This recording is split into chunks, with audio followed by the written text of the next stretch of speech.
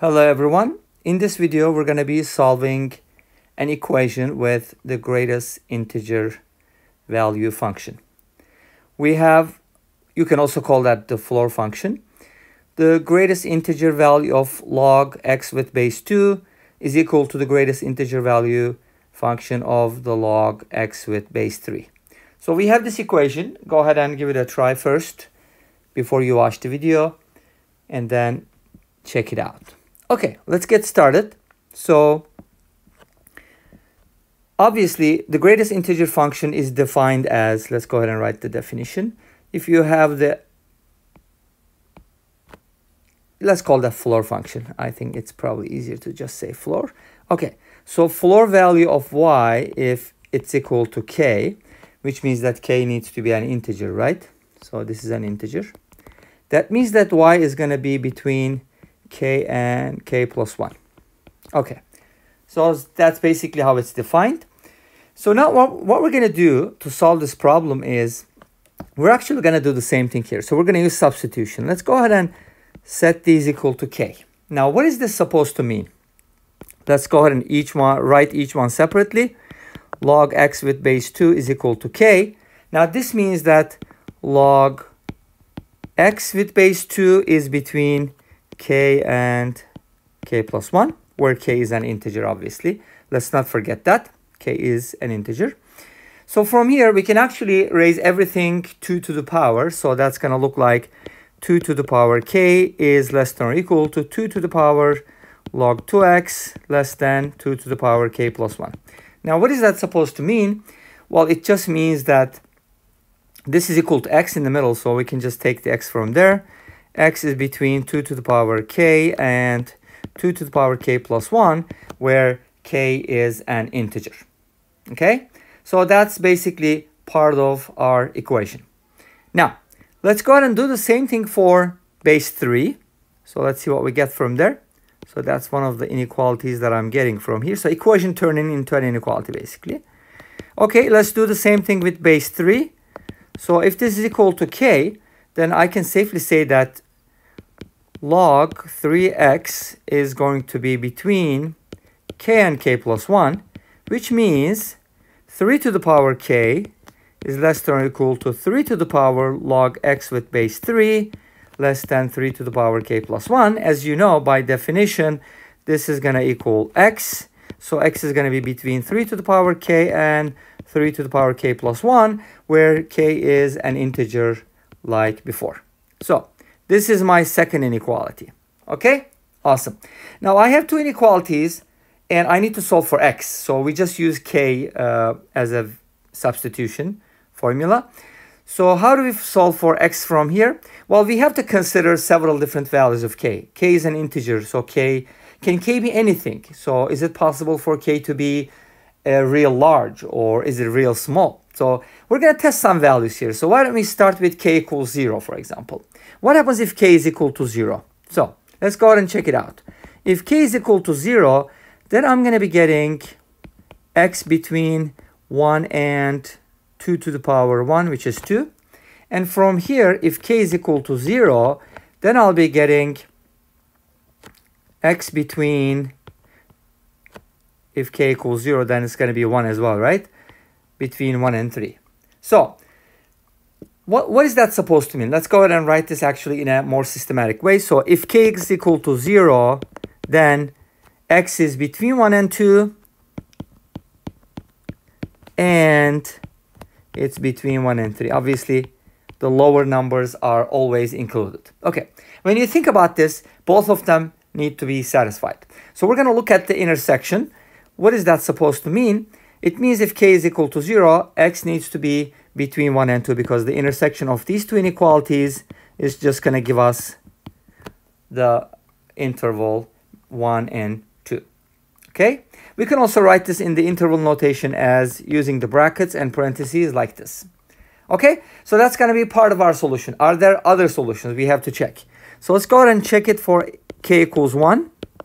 Now, if k equals 1, and you're going to need to refer back to this, but basically it's the same inequality except the base is 2.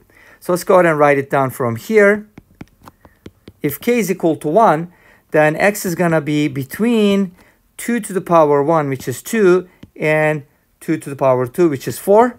And basically those are consecutive powers of 2, and we just pick up where one of them left, and that's going to be between 4 and 8. Now, if you think about these two inequalities, they overlap, right? So where do they overlap? Well, actually, it, they don't, right? There's no overlap. So actually, we made a mistake here. Let's go ahead and fix that. That's not right. Okay, we have to do it for 3. So if k is equal to 1, then x is going to be between 3 to the power 1, which is 3 in this case. And the other one is going to be 9. I'm like, they don't intersect? They should. Okay. So between 2 and 4 and 3 and 9. So if you think about it, then your intersection is going to include the 3 and not the 4, right? Because 4 is not included, it's not going to be in the intersection. So you can write this as a half closed interval like this one. Okay, again, this is another piece. We're just going to continue. Is this going to continue forever? We'll find out. Okay, let's see. What happens if k is equal to 2?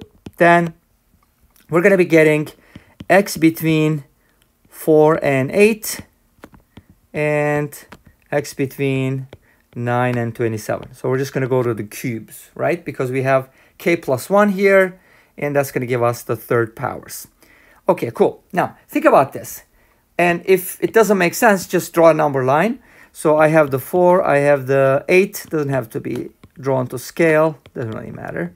Okay, so 4 is included, 8 is not, that's an open dot closed dot, and an open dot. So one of my intervals is this one, and the other interval is this one. So they are not connected, they, they don't overlap, so there is no intersection. The solution here is actually empty set. So part of my solution is empty set. What happens if I union that to the other one? Nothing. Okay, it's kind of like adding zero. So far I have those two pieces. Are there other pieces? Well, you notice that as soon as the numbers start getting larger, like k equals 2, the second powers, third powers, they're more and more apart. So now at the third power, this difference is going to be bigger, so they'll never meet again. Okay, so we're done with the positives. Let's go ahead and check the negative numbers. What about the negatives? Is that going to be a similar pattern? Let's find out. If k is equal to negative 1, then I'm supposed to have 2 to the power negative 1 here and 2 to the power 0 here, right? Because we have k and k plus 1, so it's going to be negative 1 and 0. And the same thing goes for 3, and it's going to be very, very similar. Okay, what is that supposed to mean? This means that x is between 1 half and 1, and x is between 1 third and 1. Okay, do you think there's an intersection? Yes, because, well, they're both uh, between something and 1, so they're definitely going to intersect somewhere. But what is that intersection? Well, since 1 third is smaller than 1 half, their intersection is going to be between 1 half and 1. You can also verify that by drawing a number line, putting the numbers here, one third, 1 half, and 1. One of them is going to be this one, and the other interval is going to be this one. And their intersection is definitely going to include 1 half, and but not 1. Okay? So this is another interval that we can kind of piece together with the other ones, again with the half closed pattern, one half to one. Okay? All right. So let's check out negative 2. Do you think there's going to be a solution? Let's check it out. Okay. If k is negative 2, then we get 2 to the power negative 2x and 2 to the power negative 1.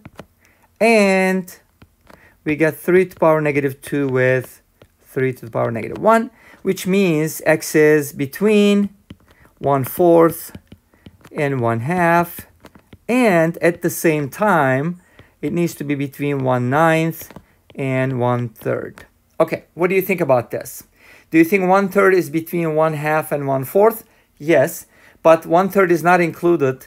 1 ninth is definitely way smaller than 1 fourth.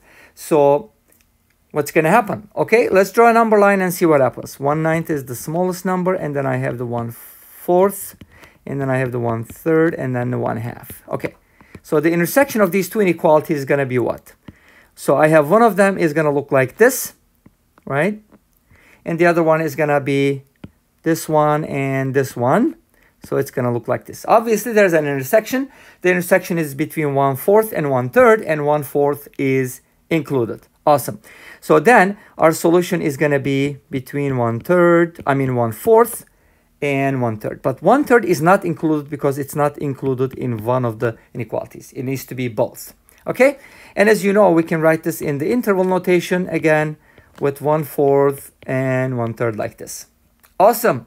So we got so far how many pieces? One, two, three, and four pieces. Okay. So let's go ahead and take a look at k equals negative 3. What happens at k equals negative 3? That's going to be interesting. Okay, so now we're getting 2 to the power negative 3 with 2 to the power negative 2 and 3 to the power negative 3 with 3 to the power negative 2. And that's going to turn into what? 1 eighth and 1 fourth and 1 over 27 with 1 over 9. Awesome. Okay, what happens here? Again, we can do our number line to see what happens, or maybe you already figured it out. Smallest number is 1 over 27, and then 1 over 9, and then 1 over 8, and then 1 over 4. Okay, awesome. The first inequality tells us you're going to be between these two numbers. The second inequality says you got to be between these two numbers. And obviously 1 ninth is less than 1 eighth. They don't overlap. There's no intersection. There's no solution from here. So the solution set is empty set. So far, we have the following pieces then, right?